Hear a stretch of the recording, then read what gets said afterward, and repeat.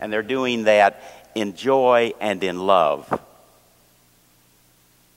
I hope you see that all around you because it's happening probably right in your pew or near you. Third love story this week.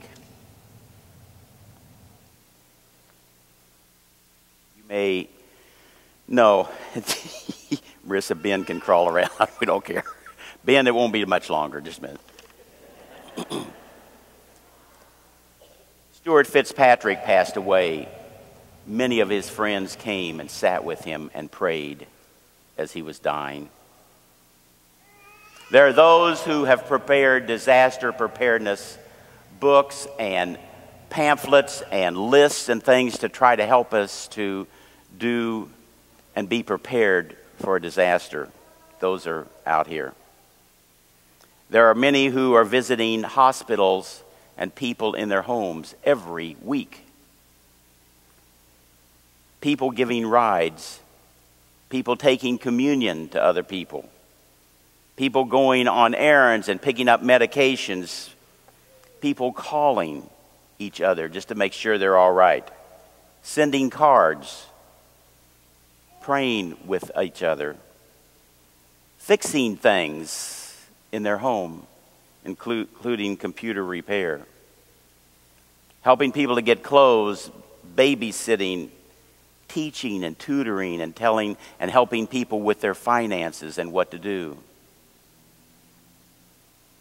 financial counseling is what I want to say. Consultation on construction. Do I get this roofer or that one? Providing some sort of legal advice and bringing food to each other. Are you getting it?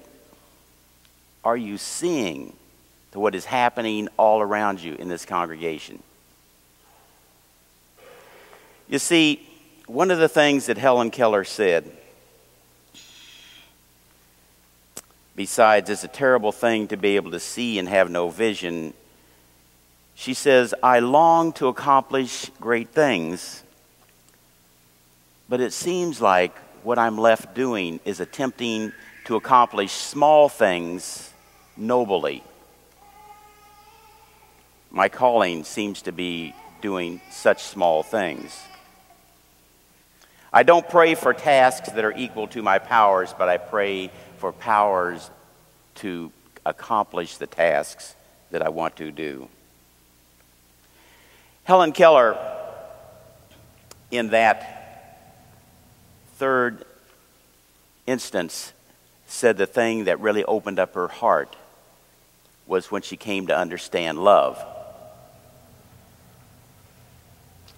Anne had been talking to her about love and trying to teach her different things about love.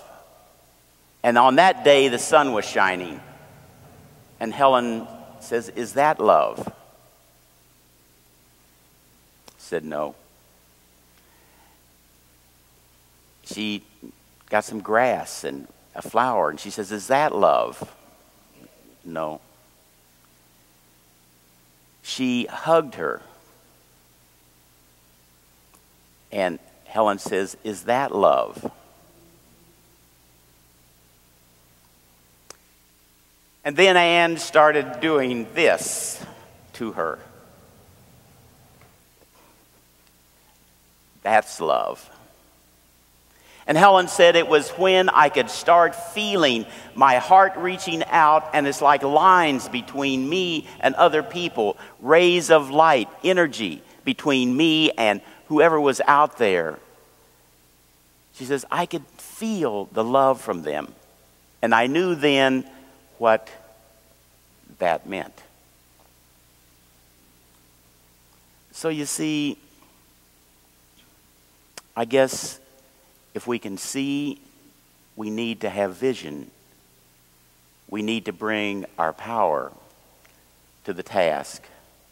We need to open up in love to each other and let our hearts feel these lines, this energy, this connection between each other. And the greatest love is from that Matthew 27.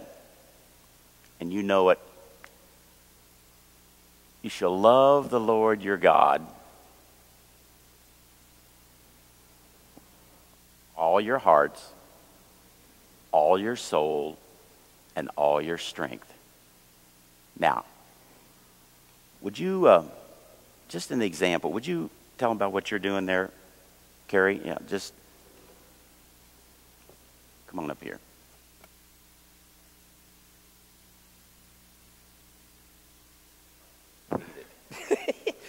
My name's Kerry Cook. What? Kerry Cook. I'm a first year student in the School for Deacons. Every year, the first year students have a project that we undertake during Lent. It's called the Sock Project. Last year, Rick Bender did it here. This year, it's my turn to do it. This is our sign. We've got a big barrel in the back. So, all through Lent, we'll be asking you to bring in socks, white socks if possible, for both male and female. We will take them down to Santa Clara Urban Ministries. These socks are to go out to help the homeless. If nothing else, reach out through our hearts by the support we give them to help them keep warm. Thank you. Thank you for the love that you're doing, Carrie. Two weeks from tonight, we're doing the Sama banquet. It is badly needed throughout all the world. The help is badly needed. Somebody once said to me, You know, Jim, you're always asking for something. as long as there is a need, I'll always be asking for something. But what I will always expect is that we love each other with all of our hearts, with all of our minds, and all of our strength. In the name of the Father, and the Son, and the Holy Spirit. Amen.